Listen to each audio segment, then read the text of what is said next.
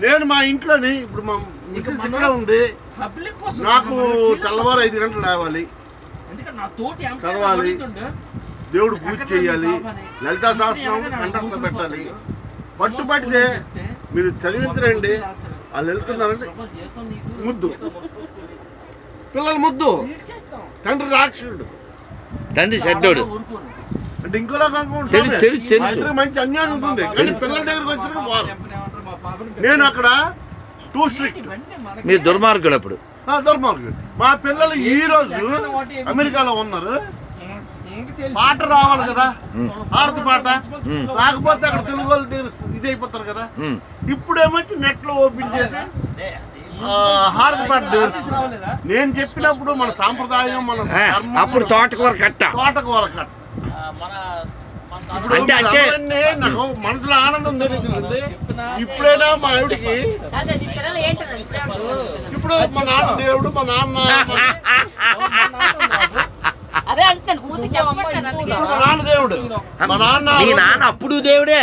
వాళ్ళ నాన్న అప్పుడు దేవుడే. మా పిల్లలు- కానీ గుర్తింపు లేదు. మా పిల్లలు పెళ్ళిళ్ళు అవుతున్నప్పుడు లలిత సహస్రనామం పెట్టించారు బలవంతంగా. ఉండాలి నాన్న అంటే అలాగ ఉండాలి. ఇది తిట్టినా కొట్టినా బలవంతం చేస్తే చూడండి బుట్టలో కూర్చోబెట్టి ధర్మం గురించి చెప్పక్కర్లే పిల్లలకి. ఎవరి ఇంట్లో ఈ రోజుల్లో రామాయణం భాగవతం భగవద్గీత భారతం గ్రంథాలు ఒకరింట్లోనే ఒక పుస్తకమైనా ఉందా? ఆ, అసలు పుస్తకమే లేనప్పుడు మస్తకం. పుస్తకమే లేనప్పుడు మస్తకంలోకి ఎలా ఎక్కుద్ది? మీకంటే ఆ పుస్తకాలు ఉంటాయి ఇప్పుడు ఈ బిజీ ప్రపంచంలో పెద్ద బాల శిక్ష ఉందా అండి ఎవరి ఇంట్లో అది? అది అది అది ఒరిజినల్. రామాయణ వరకు బాల శిక్ష? మా ఇంట్లో ఉంది పెద్ద మానసిక సార్ ఇప్పుడు ఆ ఆ పుస్తకం తీస్తే నెలలు తెలిస్తే తెలిస్తే వారం తెలిస్తే అన్ని తెలిస్తే అవును అవును. అది ఆయన తాలో పుణ్యం అది లేనిదేమో దాని పేరే పెద్ద బాల శిక్ష. నేను పెద్ద బాల శిక్ష అంటే మన దగ్గర అన్ని ఉన్నట్లే. Sir sir. అది తీసుకెళ్ళి ఇస్తే లేదండి. పిల్లల ఇప్పుడు మా నాన్న మంచోడు మా నాన్న బలవంతం పెడతాడు ఆ, నేను లలిత. శాస్త్రం నేర్పించింది ఎందుకంటే అంటే పబ్లిక్లో మీరు అంటే కొద్దిగా మీరు ఐడియాలు కొంటారు కాబట్టి మేము పబ్లిక్లో ఉంటాం. మేము ఎందుకంటే మేము ఆ రోడ్డు మీద నించుంటాం గంట. ఎవడో అన్నయ్యో తమ్ముడో ఎవడో వస్తుంటాడు నీకు ఆడు రకరకాలు చెప్తుంటారు. ఇవన్నిటికి మేము ఎదుర్కొని వెళ్ళాలంటే మ్. పబ్లిక్ ఎలా నడుస్తుందో సిచ్యువేషన్ వాళ్ళలా మనం ఉండాలి. వాళ్ళలాగా ఉండాలా కాదు? అంటే కాదు వాళ్ళలాగా ఉండాలనుకోమండి. అంటే కొద్దిలో కొద్దిగా వాళ్ళతో రీచ్ స్వామి. మాకు రెస్పెక్ట్ చూడదు పబ్లిక్ స్వామి ఇప్పుడు మేము ఉన్నాము. అది నలుగురితో చూడాలి కదా సార్ అది కాదు. సార్. ప్రతిదీ నేను ఒక్క సంపాదిస్తున్నారండి. పబ్లిక్లో రెస్పెక్ట్ లేదండి మీకు. నీకెందుకురా జీతం నీకెందుకు పబ్లిక్లో? నీకు ఎవరు రెస్పెక్ట్ లేదండి మనం ఏంటి చెప్తాం? కాదు సార్ సార్ ప్రసాద్ గారు చెప్తే ఒక్కసారి. ప్రతిదీ నేను. చేస్తున్నాను నేను అన్నది మీరు ముందు వదిలేయాలి. నేను అన్నది వదిలేస్తే అసలు ఏమీ లేదు అసలు వాడు. ఎగోయిజం కావాలండి. ఎలా అదే. పోతా సార్?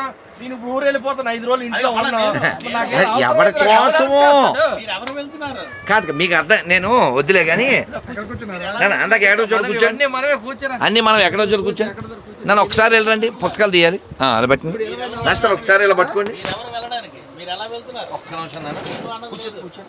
మీరు వెళ్ళడానికి కారణం ఇంకో శక్తి ఇదిగో. ఉంది. మాస్టర్ ప్రసాద్ గారు. నేను ఏదోలా ఎడ్యుకేట్ చేయాలని ఇన్ని పుస్తకాలు వేసుకుని పిల్లలకి పెద్దలకి గిఫ్ట్లు ఇస్తూ ఉంటాను. ఎవడో ఒకడు చదివి ఎవడో ఒకడు బాగుపడాలి. ఇవన్నీ ఎందుకంటే ఏదోలా వాడు ఎడ్యుకేట్ అవ్వాలి.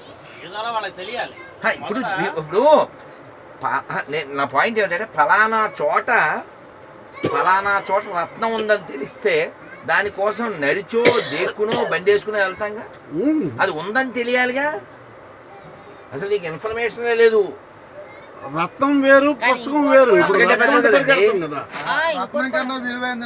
కరెక్ట్ అండి నేటి సమాజానికి. ఇప్పుడు మీరు అంటుంది నాకు తెలుసు. నేటి సమాజం పిల్లలు ఎలా ఉన్నారో చెప్పండి. ఏమనుకోను ఏమనుకున్నాను ఇప్పుడు ఆవిడ వచ్చిందా?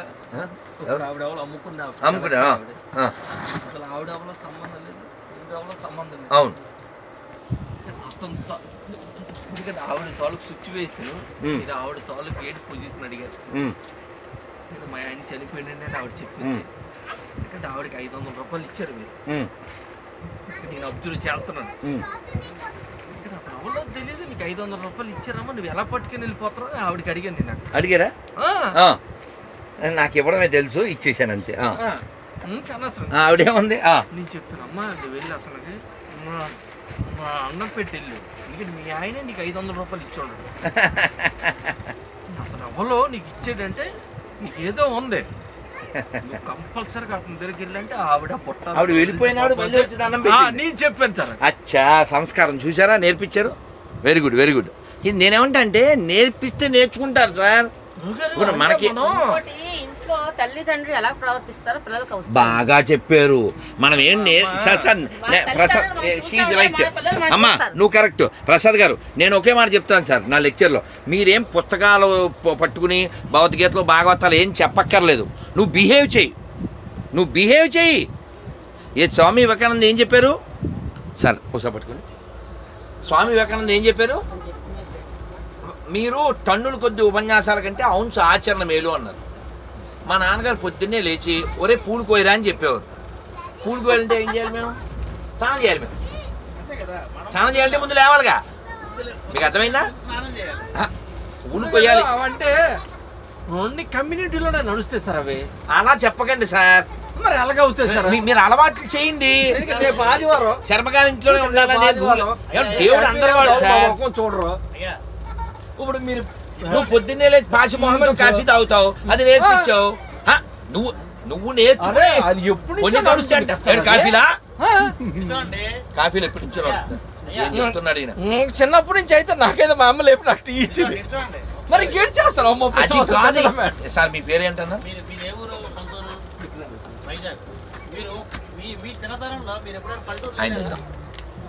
మీ మరి అమ్మ నాన్న మరి? యాక్చువల్గా శ్రీకాకుళం విలేజ్ శ్రీకాకుళం విలేజ్. శ్రీకాకుళం విలేజ్లో వాళ్ళు ఉదయాన్నే పొలం పనులకు వెళ్ళేటప్పుడు ఉదయాన్నే సూర్య నమస్కారాలు చేసేవారా లేదా? తక్కువ. కాఫీలు, టీలు అవన్నీ నిషేధం. చేసేవారు పల్లెటూరులో. వెయ్యి నీళ్ళే ఈ రోజుల్లో ప్రతివాడు కూడా ఉదయాన్నే సూర్యు సూర్యుడు నెత్తి మీదకి వచ్చాం బ్రష్ చేస్తున్నాం కాబట్టి సూర్య నమస్కారాలు వదిలేసాం పూర్వకాలంలో పల్లెటూరులో ఉదయాన్నే రైతులు కూడా బ్రష్ చేయగానే ముందు సూర్యుడు సార్ సార్ ఒక్క మాట చెప్తాను సార్. ప్రసాద్ గారు చెప్పేది. ఆ రోజుల్లో సూర్య నమస్కారం చేసేవారు కాబట్టి వారికి ఆరోగ్యం అన్ని. విధాలా. వాళ్ళు డెబ్బై ఎనభై ఏళ్ళు వచ్చేవారు కూడా పొలం నలభై ఏళ్ళ నుంచి హార్ట్ ప్రాబ్లమ్స్ అన్ని ప్రాబ్లమ్స్ అన్ని ప్రాబ్లమ్స్ ఎందుకని? సార్ మీ పేరేమన్నారు? నా పేరు రాజశేఖర్ రా రాజశేఖర్ గారు. నా పాయింట్ ఏమిటంటే మీరు బాగా గుర్తుపెట్టుకోండి. మనం తెలుగులో మాట సాగితే ఆవు చేలో మేస్తే ఏంటి తర్వాత? ఆవు చేలో మేస్తే? దూడ ఎక్కడ మేద్ది? తోడు కట్టిన మెస్. ఎందుకు మేత్తదా? గమ్మున ఉండండి. ఆవు చేలో మేస్తే దూడ గట్టి మేద్దాం? అది కూడా చేలోనే మేస్తుంది అవునా? అవునా? మా నాన్నగారు పొద్దున్నే లేచేవారు కాబట్టి మేము పొద్దున్న లేచేవాళ్ళం. నువ్వే ఏడున్నరకు లేస్తావు. పిల్లలు ఎప్పుడు లేస్తారు? నువ్వు అంటే నేను ఎందుకంటే మా నాన్నగారు నాకు ఇచ్చారు కదా అని నేను అది చేయట్లేదు. ఎందుకంటే మా అమ్మాయికి ఉదయం ఆరు గంటలకు ఫోన్ అమ్మ లెగిసావా? గుడ్ గుడ్ గుడ్ చేసావా గుడ్ నీకు అమ్మాయి ఏమైనా ఇచ్చిందా. నేను అడిగి ఇప్పుడు అలవాటు చేస్తున్నా అంటే నేను చేసాను రాంగ్ ఎందుకంటే మా నాన్న అమ్మాలకి వాళ్ళకి అమాయకులు. ఐడియా ఉండొచ్చు అమాయకులు. అమాయకులు అవ్వచ్చు పల్లెటూరు వాళ్ళు. మీద అభిమానంతో. మా కొడుకు లేపకూడదు అనవచ్చు పల్లెటూరులోనే పొద్దున్న లేచేవాది అలాగే చేయట్లేదు. తెలుస్తారా టైం బ్రష్ చేస్తుంది మూడు సార్లు బ్రష్ చేస్తుంది ఎంత వయసు దానికి? Six six years six years అది మూడు సార్లు ఈవినింగ్ చేస్తుంది బంగారు. బంగారు తల్లి దానికి గిఫ్ట్ ఇస్తారు విచిత్రం అనిపిస్తుంది. ఎందుకంటే మా నాన్న చెప్పాడు అమ్మా అంటుంది. ఆ, చాలు చాలు చాలు. సక్సెస్ చాలు. చాలు ఎటువంటి? You are a good father చాలు సార్ చాలు.